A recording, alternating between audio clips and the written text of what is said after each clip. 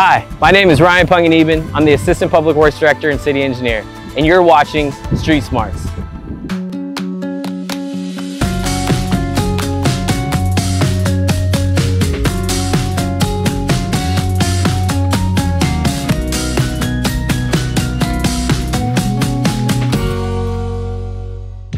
On this episode of Street Smarts, we're here to talk about the intersection of Vanden and Canon Road and talk about improvements to address safety concerns that was raised by the Capitol Corridor Joint Powers Authority.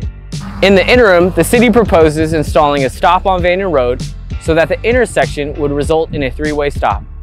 The project also includes striping, advanced warning with beacons, and an electronic changeable message sign will be installed approximately one week in advance of the actual change. The all-way stop will serve as an interim condition and motorists can expect delays along this route. Please account for extra time when driving on Vanden Road. This area is part of the train station specific plan and the city has plans to further improve this intersection. The ultimate roadway configuration includes a widened four-lane Vanden Road with sidewalk, bike lanes, street lights, and landscaping, and a new Canyon Road bridge over the railroad tracks. The project is developer driven and very complex.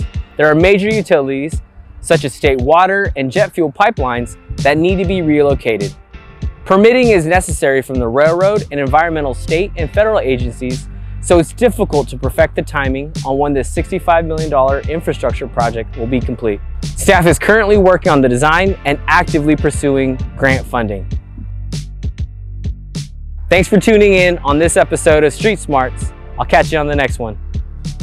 To view more programs like this, follow the City of Fairfield on YouTube, Twitter, Instagram, and Facebook.